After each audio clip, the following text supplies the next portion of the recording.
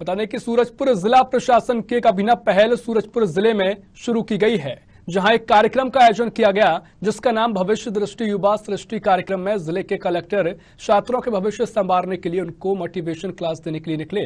वहीं छात्रों को अपने पढ़ाई के बाद किस तरह से कंपटीशन एग्ज़ाम की तैयारी कर करियर के कैसे संभावना रहती है, ऐसे में सूरजपुर के कलेक्टर गौरव कुमार सिंह ने एक अभिनव पहल कर एक कार्यक्रम का आयोजन किया। जिसने, जिसके तहत खुद कलेक्टर छात्रों के महाविद्यालय पहुंचकर उन्हें मोटिवेशन क्लास दी, साथ ही अपने आईएएस तक पहुँचने के सफ़र और अनुभव को साझा कर करियर संवारने के तरीकों को बताते नज़र आए। देखिए खास पेशकश और खास रिपोर्ट।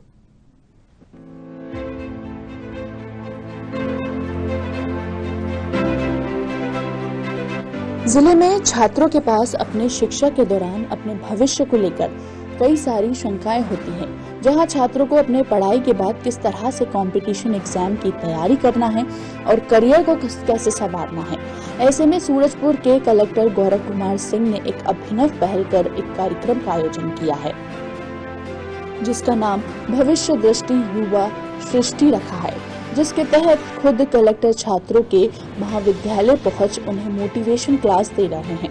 साथ ही अपने आईएएस तक पहुँचने के सफ़र और अनुभव को साझा कर करियर संवारने के तरीकों को बताते नज़र आए, जहाँ छात्रों को मार्गदर्शन देकर उन्हें मोटिवेट करने का अभियान शुरू किया।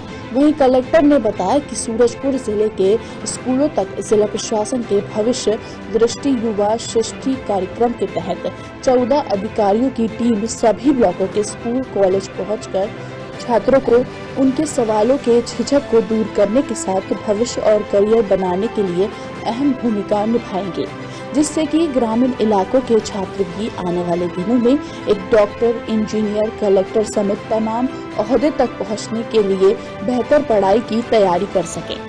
भविष्य दृष्टि युवा सृष्टि कार्यक्रम शुरू किया गया, जिसके तहत हम जिला स्तरीय अधिकारी विद्यालयों में जाके बच्चों को मोटिवेट करने के लिए, उनके करियर के लिए लगातार काम करेंगे। कुछ बच्चों को हम कलेक्ट्रेट लाकर, यहाँ की व्यवस्थाओं को दिखाकर, फिर उनके मोटिवेशन का काम करेंगे। शिक्षकों के साथ भी संवाद की बात है।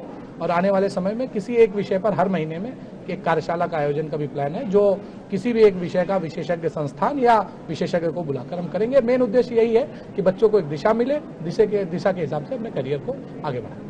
नहीं देखिए, हम लोग तो छात्रों के बीच में रहते हैं। हाँ संस्थागत रूप से कहे, ऐसे कार्यक्रम के रूप में, जिसमें कोरोना काल के बाद इतने बच्चों के साथ एक साथ संवाद करना हमेशा अच्छा लगता है और स्कूल में जाना हर अधिकारी के लिए अपने बचपन को जीना होता है, स्कूल टाइम को जीना होता है। और अच्छा लगता है कि जब बच्चे आँख लगाकर आपको देख रहे होते हैं और उनकी आँखों में एक सपना होता है। सूरजपुर कलेक्टर गौरव कुमार सिंह ने प्रदेश में पहली बार छात्रों के भविष्य संवारने के लिए उनके बीच पहुँच, करियर बनाने का पाठ पढ़ाते नज़र आए। और सूरजपुर महाविद्यालय के छात्रों ने भी कलेक्टर को अपने बीच पाकर खूब सवाल किए। जहाँ कलेक्टर के अनुभव को अपने बीच पाकर छात्र भी बेहद खुश नज़र आए। बहुत अच्छा लगा, वो आए, हम सबको इतना कुछ सिखाए, इतना बताए, उनसे बहुत कुछ हमें सीखने को मिला और बहुत अच्छा लगा उनसे मिलके। उनमें और 95 परसेंट लाभदायक, वो हमें मतलब बहुत सी अच्छी, ऐसी ऐसी बातें बताई जिससे हमें बहुत कुछ सीखने को मिला अच्छा लगा।